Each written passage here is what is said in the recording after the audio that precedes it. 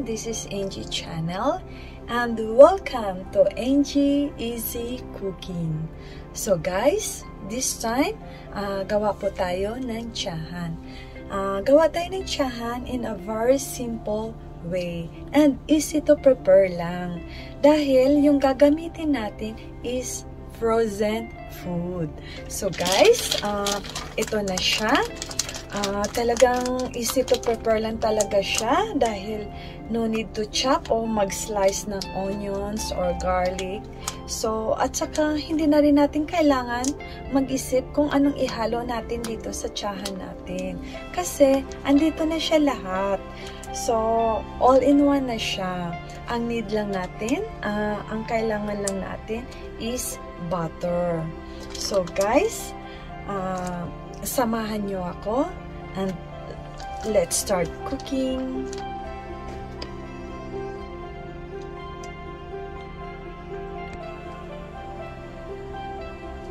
Ayan, initin na natin yung frying pan. Then, saka tayo maglagay ng butter. Ayan, lagyan na natin ng butter.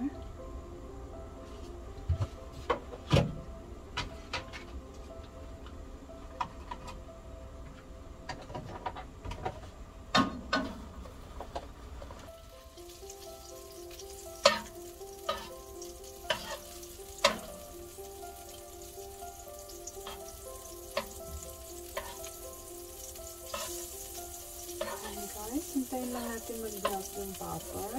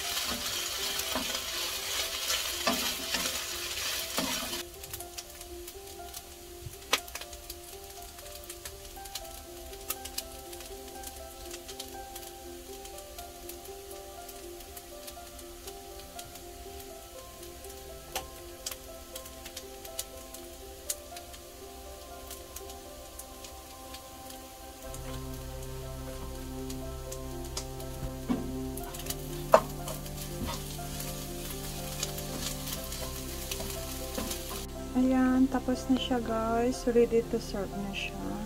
Ayan na yung tsahan natin.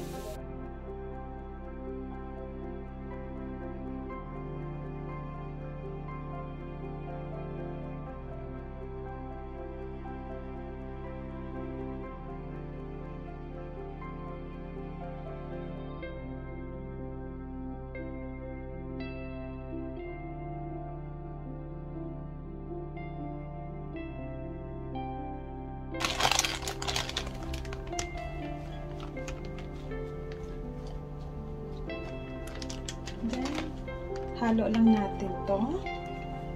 Halo lang natin bell pepper. Tapos nilagyan ko ng myuga guys.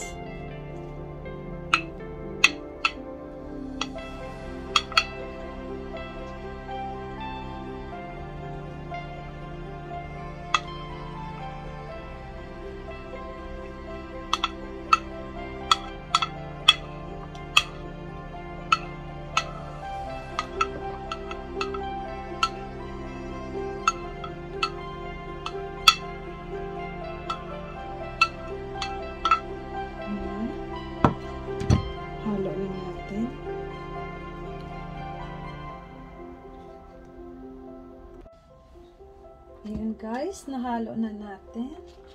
So ngayon, lagyan na natin ng croton. Croton.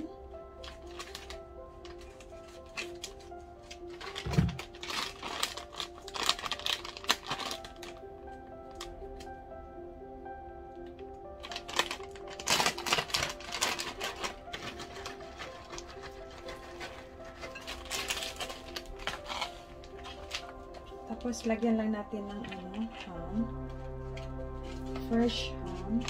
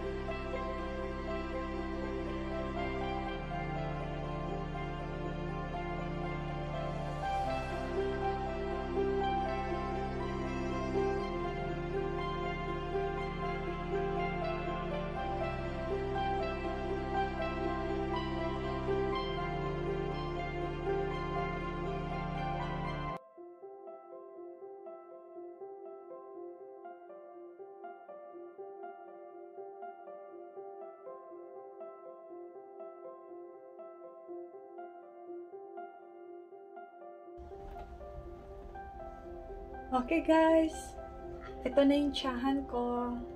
Madali lang talaga siyang gawin. So, tikman natin.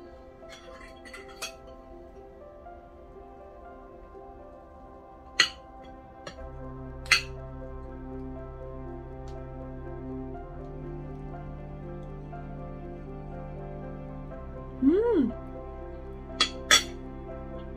Ang sarap! Ang sarap pala talaga niya, guys. Ang sarap-sarap. I-try nyo. Kahit frozen siya, hindi siya halata na ano, na frozen food siya. Ang sarap talaga niya. Ano, malasa pa. Subukan nyo, guys. Masarap siya. So, ito yung salad na gawa ko, guys. Tikman natin.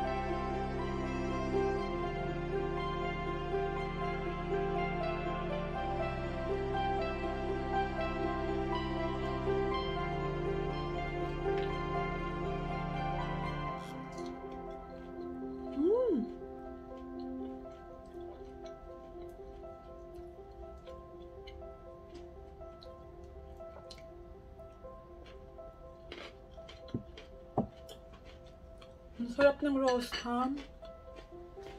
Sarap niya guys.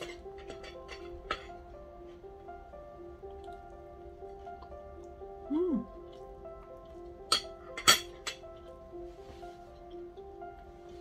Masarap.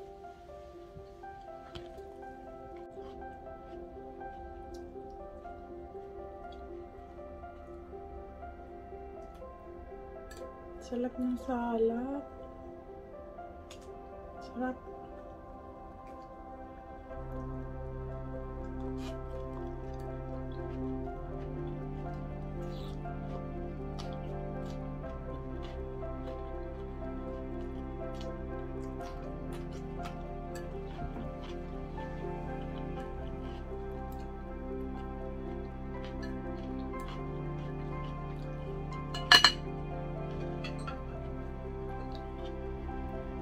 Okay guys, before I sign off, uh, please like, share, and subscribe. And please don't forget to hit the button bell or the notification bell para ma-update kayo on my next video. And if you have any suggestion or comments, uh, you can write down it below. And this is Angie Channel. Nagpapasalamat po sa inyong lahat. Thank you, thank you so much guys. Domo arigatou gozaimashita. And see you on my next vlog. Thank you guys. God bless us all. Bye-bye.